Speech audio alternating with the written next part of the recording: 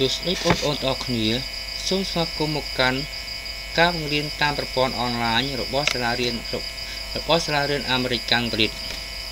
ចឹងថ្ងៃនេះ4កើតខែពិសាឆ្នាំជូតទស័កពុទ្ធសករាជ2564ត្រូវនៅថ្ងៃទី25ខែឧសភាឆ្នាំ2020ចឹងពុទ្ធសករាជរបស់យើងនេះបានផ្លាស់ប្ដូរហើយកាលពីមុនគឺ2563 តែលើបដូរទៅជា64ហើយចាស់មួយឆ្នាំទៀតហើយបាទអញ្ចឹងថ្ងៃនេះជាងលើកយកភូមិវិទ្យាថ្នាក់ទី7មកសិក្សាគឺក្នុងចម្ពោះទី4បាទក្នុងចម្ពោះទី4តើមនុស្សនៅលើផែនដីរស់នៅទីណាខ្លះអញ្ចឹងគេសួរថាមនុស្សរស់នៅលើផែនដីរស់នៅទីណាខ្លះអញ្ចឹងយើងបានសិក្សារួចហើយថាដឹងថាមនុស្សនៅលើផែនដីរស់នៅទីណាខ្លះគឺមានដូចជាតំបន់ប៉ូលបាទតំបន់គឺលំហក្តៅ តំបន់អេខ្វាទ័របាទតំបន់ត្រជាក់បង្គួរអញ្ចឹងច្រើនតិចគឺយើងដឹងថានៅកន្លែងណាតិចនៅកន្លែងណាច្រើនបាទអញ្ចឹងមេចំពោះទី3នេះគឺលើកយកមេរៀនទី1មកសិក្សាគឺប្រជាជនពិភពពិភពលោកអញ្ចឹងមុននឹងចូលដល់ខ្លឹមសារខ្លឹមសារមេរៀនពិភពលោកនេះអញ្ចឹងបងប្អូននាំគ្នាបើកសៀវភៅអានទៅអានមេរៀនទី1ប្រជាជនពិភពលោកនេះអានចំណុចទី1បាទអានតែចំណុចទី1សិនមកបានហើយហើយ ឲ្យយល់ពីខ្លឹមសារមេរៀនបន្ទាប់មកយើងនឹងចូលដល់បញ្យលពាក្យបាទអញ្ចឹងយើងមើលបញ្យលពាក្យបាទបញ្យលពាក្យបញ្យលពាក្យប្រទេសលោកខាងត្បូងប្រទេសលោកខាងជើងអាមេរិកឡាទីន សង្ឃឹមរស់ពីកំណើតទស្សនភាពបង្កកំណើតបាទអត្រាជាតិប្រមាណអត្រាមរណៈប្រមាណអត្រាកំណើតប្រជាជនអញ្ចឹងដូចជាអត្រា លទ្ធភាពបង្កកំណើតនេះហើយអត្រាជាមរណៈឬក៏អត្រាប្រមាណនេះគឺយើងបានជួបខ្លះខ្លះហើយពីមុនមកប៉ុន្តែឥឡូវយើងយល់បន្ថែមទៅទៅនេះទី1ប្រទេសលោកខាងត្បូងអញ្ចឹងប្រទេសលោកខាងត្បូងគេសំដៅទៅលើប្រទេសដែលមានខឿនសេដ្ឋកិច្ចអន់ថយបាទមានខឿនសេដ្ឋកិច្ចអន់ថយអញ្ចឹងឲ្យតែប្រទេសណាមានខឿនសេដ្ឋកិច្ចអន់ថយគឺហៅថាប្រទេសលោកលោកខាងត្បូងទី2ប្រទេសលោកខាងជើង ចឹងប្រទេសលោកខាងជើងសំដៅទៅលើប្រទេសទាំងឡាយណាដែលមានខឿនសេដ្ឋកិច្ចរីកចម្រើនចឹងឲ្យតែប្រទេសណាដែលមានខឿនសេដ្ឋកិច្ចរីកចម្រើនគេហៅថាប្រទេសលោកខាងខាងជើងបន្ទាប់មកពាក្យអាមេរិកឡាទីនចឹងពាក្យអាមេរិកឡាទីននេះផ្នែកមួយនៃទ្វីបអាមេរិកដែលលាតសន្ធឹងពីប្រទេសមីសិចរហូតដល់ជ្រោយជ្រោយហូនចឹងពាក្យថាជ្រោយហូននេះគឺជាឈ្មោះទេបើជាឈ្មោះជ្រោយហូននេះជាឈ្មោះជ្រោយគេដាក់ឈ្មោះថាជ្រោយ ហូនបាទអញ្ចឹងលាតសន្ធឹងពីប្រទេសមិសិចរហូតដល់ជ្រួយជ្រួយហូន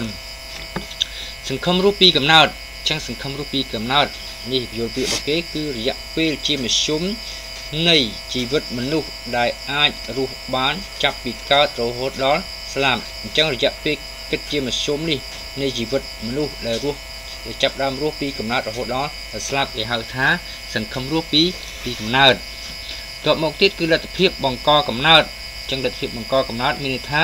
ភាពដែលអាចបង្កើតកូនបានរបស់ស្ត្រីភេទក្នុងដំណាក់កាលបន្តពូជចឹងគេហៅថាលទ្ធភាពបង្កកំណើតចឹងស្ត្រីនឹងបង្កកំណើតបានកូនប្រមាណប្រមាណគឺគេហៅមានលទ្ធភាពយ៉ាងម៉េចគឺគេហៅថាលទ្ធភាពបង្កកំណើតអត្រាជាប្រមាណអត្រាជាប្រមាណគឺចំនួនមនុស្សកើតក្នុងចំណោមប្រជាជន1000នាក់ក្នុងរយៈពេល1ឆ្នាំគិតជា1000 1000នាក់ ចឹងអានេះគេហៅថាអត្រាជាតិប្រមាណគេគិតជា1000នាក់អត្រាមរណៈប្រមាណជាចំនួនមនុស្សស្លាប់ក្នុងចំណោមប្រជាជន1000នាក់ក្នុងរយៈពេល1ឆ្នាំគិតជា1000នាក់ដូចដូចគ្នាអញ្ចឹងយើងមើលខាងក្រោមនេះអត្រាកំណើនប្រជាជនអញ្ចឹងអត្រាកំណើនប្រជាជន គឺជាផលសងរវាងអត្រាមរអត្រាជាតិប្រមាណនិងអត្រាមរណៈប្រមាណឧទាហរណ៍ថាអត្រាជាតិប្រមាណកើតមក1000នាក់អញ្ចឹងក្នុង1000នាក់នេះស្លាប់ប្រមាណ ចឹងគេហៅថាកំណើនសល់ប្រមាណគេហៅថាកំណើនប្រជាជនបាទកំណើនប្រជាជនចឹងជាផលសងនេះជាផលសងអត្រាជាប្រមាណនិងអត្រាមរណៈប្រមាណគិតជាភាគជាភាគរយចឹងក្រៅពីទូទាត់នេះហើយគេគិតជាភាគភាគរយសល់ប្រមាណភាគរយចឹងយើងចូលដល់ខ្លឹមសារមេរៀនចឹងខ្លឹមសារមេរៀនទី1នេះគេចង់និយាយពីកំណើន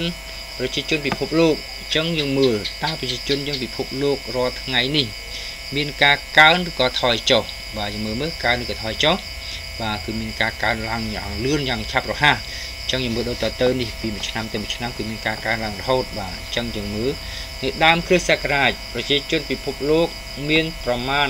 25ទៅ30លាននាក់បាទនៅដើមគ្រិស្តសករាជអញ្ចឹងគ្រិស្តសករាជចាប់ពីពេលណាមកអញ្ចឹងដើមគ្រិស្តសករាជឥឡូវគ្រិស្តសករាជទីម៉ាន2020អញ្ចឹងដើមគ្រិស្តសករាជមិនថាសករាជទី1ចាប់ពីនោះមកគឺ 25ទៅ30លាននាក់បាទអញ្ចឹងដើមគ្រិស្តសករាជមានតែប្រជាជនពី25ទៅ30លាននាក់ឯទូទាំងពិភពលោកបាទចឹងប្រជាជនពិភពលោកបានកើនយ៉ាងកើនឡើងយ៉ាងលឿននៅសតវត្សទី20ប្រជាជនពិភពលោកមានកំណើនដូចតទៅចឹងពីមួយឆ្នាំទៅមួយឆ្នាំគឺមានការកើនឡើងរហូតនេះដូចជា ឆ្នាំ1920មានប្រជាជន2000លាននាក់ឆ្នាំ1960មានប្រជាជន 3000លាននាក់ចឹងចន្លោះឆ្នាំពី1920មកឆ្នាំ1960រយៈពេលប្រហែលឆ្នាំគឺរយៈពេល40ឆ្នាំហើយយើងយកដកទៅហើយយើងយកចំនួនប្រជាជន3000លាននាក់ដក2000លាននាក់ឃើញប៉ុន្មានឃើញ1000នាក់1000លាននាក់អញ្ចឹងក្នុងរយៈពេល40ឆ្នាំគឺប្រជាជនកើនឡើងរហូតដល់1000លាននាក់បាទ1000លាននាក់ច្រើនមែនតើចឹងនៅឆ្នាំ 1995មាន5.7000លាននាក់បាទនេះ1000លានបាទ1000លានសំទោសនេះភ្លេចដាក់លានអឺឆ្នាំ2003មាន6.3000លាននាក់បាទកើនទៀតហើយឆ្នាំ2008មាន6.708លាននាក់ចឹងពីមួយឆ្នាំទៅមួយឆ្នាំ ប្រជាជនមានការកើនឡើងរហូតបាទ ហើយកើនឡើងមិនយឺតទេគឺលឿនតែម្ដងចឹងហើយបានជាប្រទេសនីមួយៗគេឲ្យគេផ្សព្វផ្សាយឲ្យប្រជាជនហ្នឹងគឺមានការប្រជាកំណើតបាទប្រជាកំណើតនេះគេដាក់ក្នុងមួយឆ្នាំមួយឆ្នាំប្រជាជនពិភពលោកបានកើនឡើងប្រមាណ95លាននាក់បាទនឹងគេគិតទូទាំងពិភពលោកតែម្ដងនេះកំណើនខ្ពស់នៃប្រជាជនបាននាំមកផលប៉ះពាល់ដល់បរិស្ថានធម្មជាតិសង្គម និងសេដ្ឋកិច្ចជាតិប្រទេសនីមួយៗដូចជាចឹងត្រង់ចំណុចនេះលោកគ្រូលើកយកចំពោះបរិស្ថានធម្មជាតិមកបញ្យល់បងប្អូនសិនហើយចំពោះពាក្យសង្គមនិងសេដ្ឋកិច្ចនេះយើងនឹងជួបគ្នានៅវីដេអូក្រោយភាសាតែមេរៀនយើងរៀងវែងដែរចឹងលោកគ្រូសូមកាត់ត្រឹមចំពោះបរិស្ថានធម្មជាតិនេះសិនចឹងចំពោះបរិស្ថានធម្មជាតិទី1គឺការកាប់បំផ្លាញព្រៃឈើ មិនបានទៅជាប៉ះពាល់ដល់ការកាប់បំផ្លាញព្រៃឈើវិញយើងដឹងហើយថាប្រជាជនពិភពលោកមានការកើនឡើងអញ្ចឹងកាលណាមានការកើនឡើង គឺតម្រូវការក៏មានការកើនឡើងដូចគ្នាអញ្ចឹងមនុស្សត្រូវការផ្ទះត្រូវការរបស់របរប្រើប្រាស់ត្រូវការផ្ទះរស់នៅអញ្ចឹងបើសិនជាអត់មានផ្ទះយើងដឹងថាផ្ទះគឺសាងសង់អំពីឈើខ្លះសង់អំពីឈើទៅខ្លះសង់អំពីថ្មទៅប៉ុន្តែចំពោះក្រែចំពោះតុចំពោះទូចំពោះកៅអីចំពោះ អ្វីអ្វីផ្សេងផ្សេងទៀតគឺតម្រូវការគឺឈើអញ្ចឹងហៅថាបើសិនជាប្រជាជនមានការកើនឡើងអាឈើនេះក៏ត្រូវការកាប់កាន់តែតែច្រើនតទៅមុខទៀតការបំផ្លាញធនធានធម្មជាតិបាទធនធានធម្មជាតិមានដូចជាទឹកដីបាទភ្នំព្រៃភ្នំអីចឹងនឹងគេហៅថាធនធានធម្មជាតិយើងមើលមិនបានទៅបំផ្លាញភ្នំវិញភ្នំគេយកមកធ្វើអីខ្លះភ្នំបាទថ្មភ្នំគេយកមកធ្វើជាថ្នល់បាទ មកធ្វើជាផ្ទះមកធ្វើជាគ្រឹះផ្ទះអីហ្នឹងហើយគេយកថ្មភ្នំហ្នឹងមកមកធ្វើអញ្ចឹងគេត្រូវរំលាយភ្នំនេះបាទហើយទៀតដូចជាទឹកបាទទឹកមិនធ្វើបំផ្លាញទឹកវិញបាទទឹកយ៉ាងដែរទឹកគឺអឺកាលណាមនុស្សកាន់តែច្រើនគឺកាកសំណល់វាមានកាន់តែច្រើនកាលណាកាកសំណល់មានកាន់តែច្រើនអញ្ចឹងវាធ្វើឲ្យទឹកកខ្វក់បាទ